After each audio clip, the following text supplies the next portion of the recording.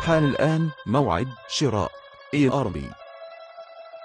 تؤكد مصلحة الضرائب المصرية على ضرورة أن يتم التكامل مباشرة بين نظام ERBD الخاص بشركتك وبين منظومة الفاتورة الإلكترونية بالمصلحة وعدم استخدام برامج وسيطة لذلك